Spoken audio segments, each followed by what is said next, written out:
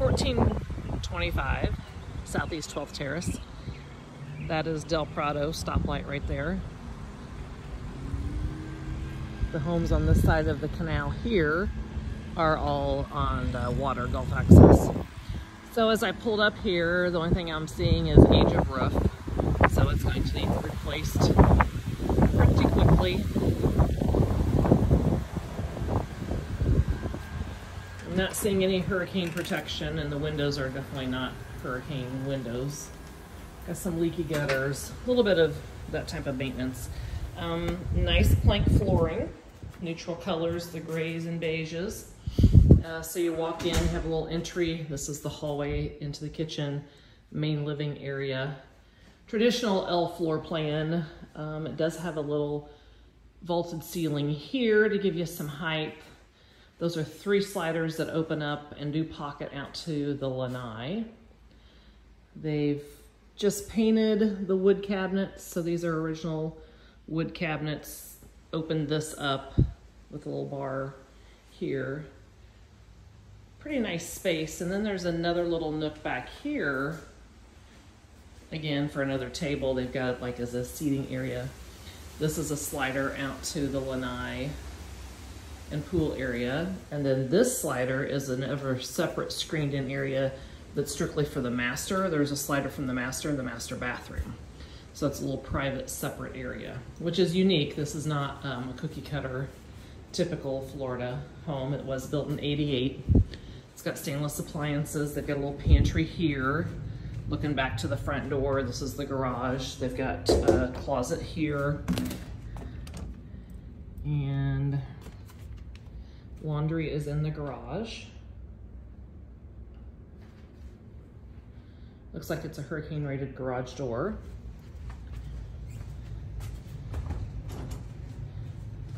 Here's the master. This is wood flooring, laminate type flooring. Those sliders are out to that little separate screened in area. It's got big pieces of furniture here.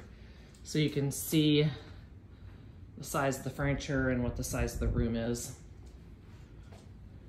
So they've uh, no door here on this opening. So you could do a barn door.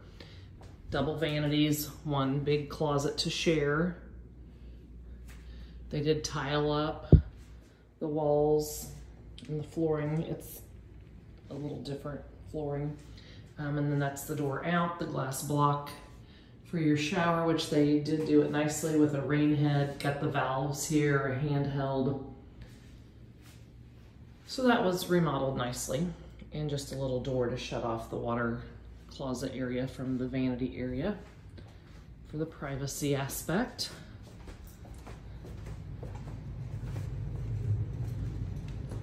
We'll do the other two guest bedrooms and then we'll go outside. Again, the shower and bathroom's been remodeled similar to the other, the same tile, uh, the glass block. To put the valve here, did a nice big walk-in shower. This is bigger than just converting the tub. Definitely bigger than just converting the tub. They did make this a little larger. And linen closet. The two guest bedrooms have got the same flooring as the master. Not huge bedrooms. There is some closet organization there, but this is a pretty standard. That's a futon. This has uh, probably a full-size bed. It might be a queen. Um, it is coming furnished. Whether or not you like the furnishings, they are offering it furnished. Looks like it's been set maybe, uh, it is staged obviously, uh, but this is uh,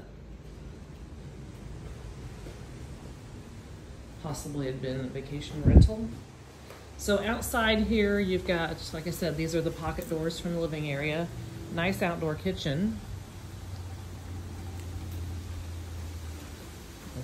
Got the wet sink, refridge, grill, bar area. This is really nice.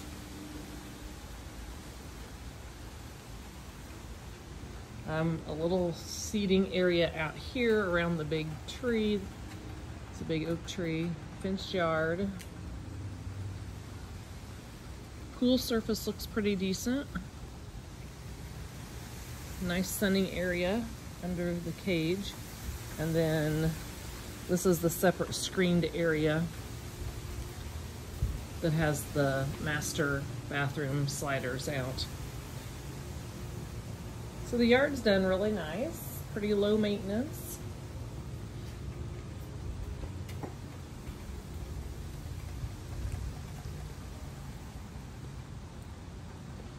And like I said, needs a new roof and I believe it's priced accordingly.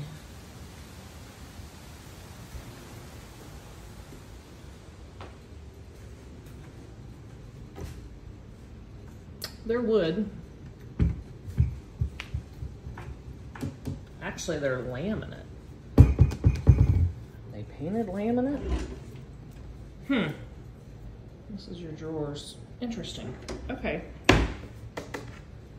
Um, there must be some special that you can put on and paint laminate. Because they are not wood. Interesting. We need to check the age of the AC as well. Not in a flood zone.